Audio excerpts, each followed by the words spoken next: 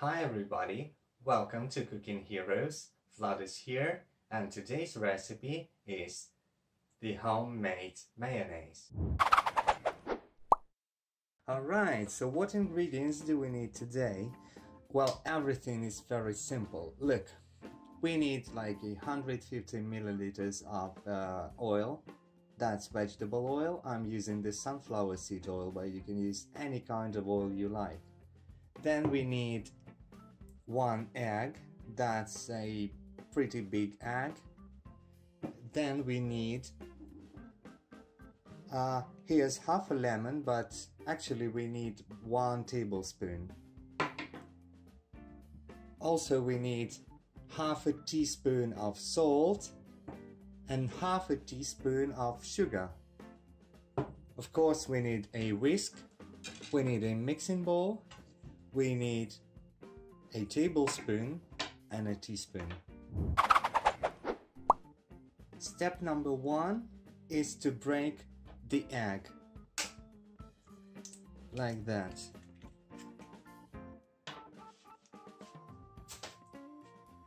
Then I will take a whisk and start mixing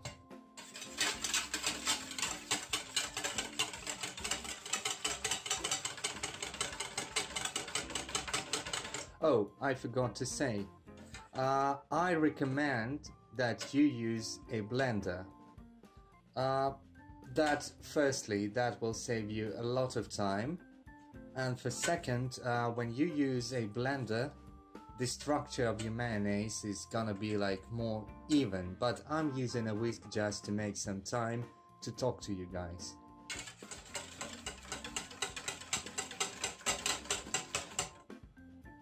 why you may wanna make your own homemade mayonnaise well the reasons are actually obvious. Reason number one is time. How long does it take you to take your car, to start the engine and go to the supermarket?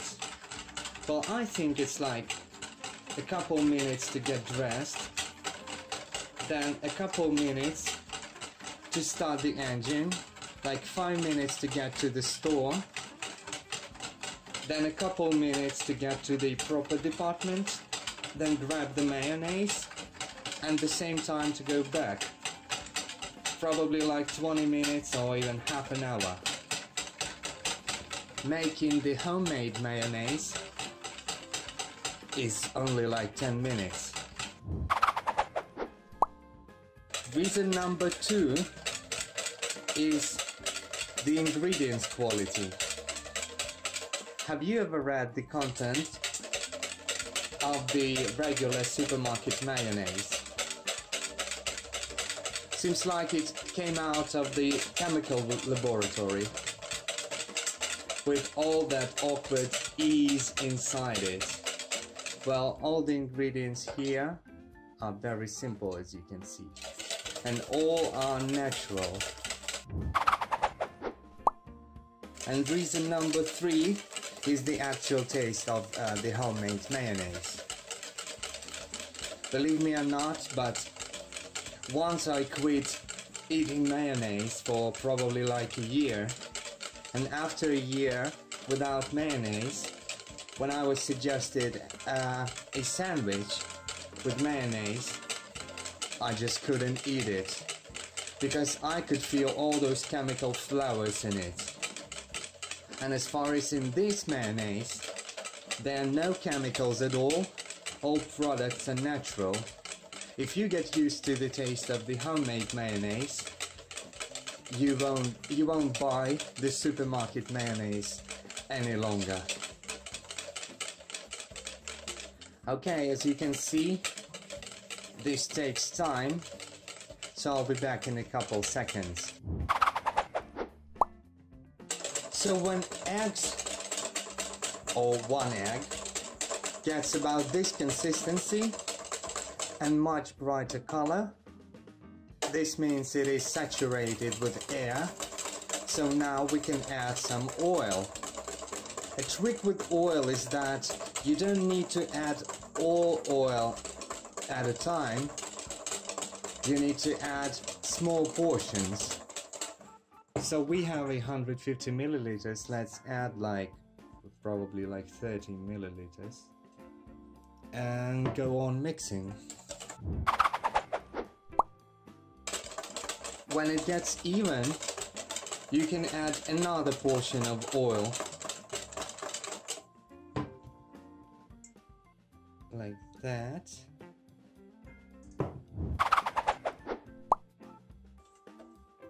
You see? See how it changes the consistency.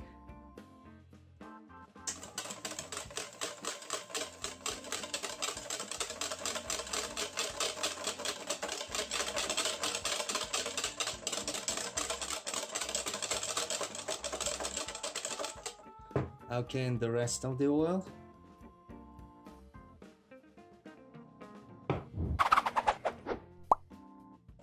Wow. That's actually good. Look. You see, it looks like a real mayonnaise.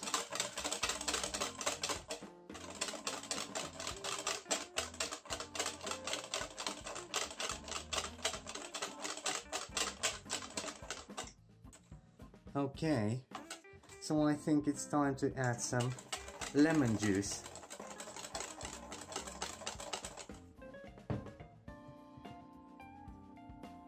One tablespoon.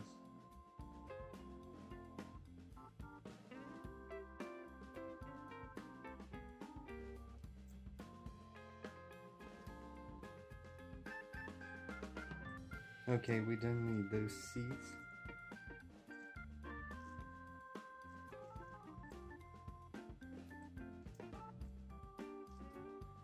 So I think I'll try to pull them out.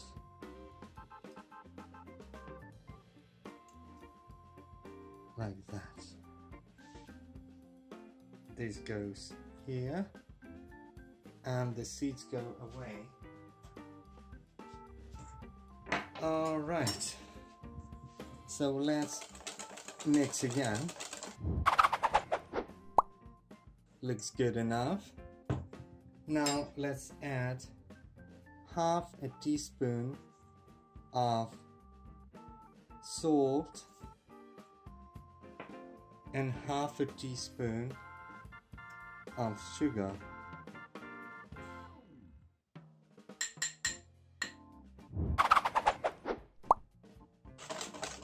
Again, I must tell you that I recommend that you use a blender because my hands get tired very quickly.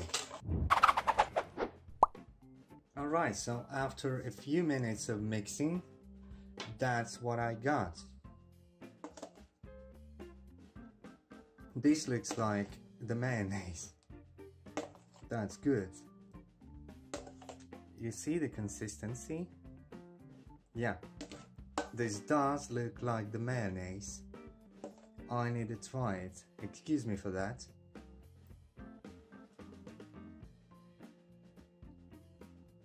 Hmm. This does taste like the mayonnaise. Okay, so if you followed all the steps of the recipe correctly, you're gonna get this healthy and very delicious homemade mayonnaise. If you like the recipe, give us a thumb up. If you didn't like, give us a thumb down. Feel free to leave a comment in the section below, subscribe to our channel, and bon appetit!